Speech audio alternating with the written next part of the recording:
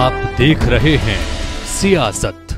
नमस्कार आपके साथ, मैं सानिया जैन। आप देख रहे हैं हमारा खास कार्यक्रम सियासत। आज हम बात करेंगे बिहार के बाहुबली और अपनी प्रेम कहानी को लेकर मशहूर रहे राजेश रंजन उर्फ़ पप्पू यादव के बारे में। पप्पू यादव का नाम सुनते ही आमतौर पर लोगों के मन में एक बाहुबली की छवि बनती है। बिहार की मधेपुरा सीट से लोकसभा सांसद रहे पप्पू यादव हमेशा अपने बयानों को लेकर सुर्खियाँ बटोरते रहे हैं।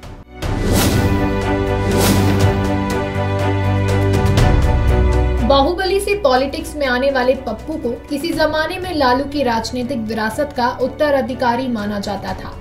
लेकिन आज पप्पू यादव, लालू और उनकी पार्टी राजद के लिए बैड एलिमेंट बन चुके हैं। बिहार के मधेपुरा से निर्दलीय सांसद रहे पप्पू यादव ने अपनी बिहार से तिहाड़ की यात्रा, यानी पटना की जेल से लेकर दिल्ली के तिहाड़ जेल तक का सफ़र तय किया है। पप्पू यादव संगीन आरोप में 17 साल से अधिक समय जेल में बिता चुके हैं।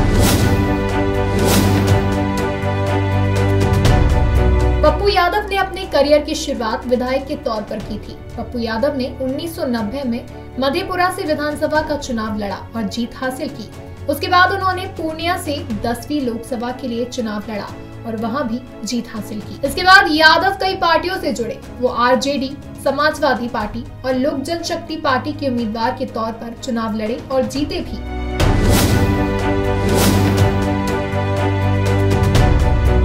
यादव उन्नीस सौ इक्यानवे, उन्नीस सौ छियानवे, उन्नीस सौ निन्यानवे और 2004 में लोकसभा चुनाव जीता, जिसके बाद 2015 में आरजेडी से पप्पू यादव को निकाल दिया गया था।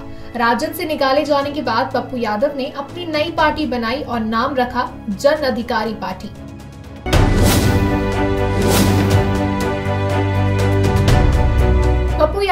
परिवार में उनके माता पिता के अलावा एक छोटी बहन है, जो डॉक्टर है। उनके बहनोई फरुखाबाद में कई मेडिकल कॉलेज चलाते हैं।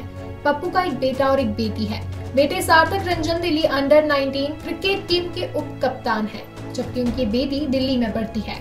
पप्पू को भरोसा है कि उनका बेटा एक दिन बड़ा क्रिकेटर बनेगा।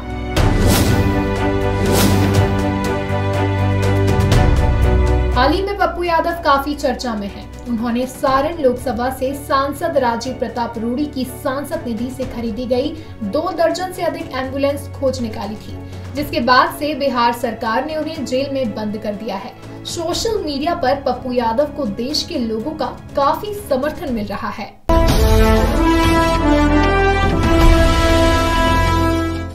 बाहुबली से लेकर एंबुलेंस पकड़वाने को लेकर काफ़ी चर्चा में रहे पप्पू यादव। अभी सोशल मीडिया पर हीरो बने हुए हैं। ऐसे ही राजनेता के बारे में जानने के लिए आप देखते रहिए मृदुभाषी।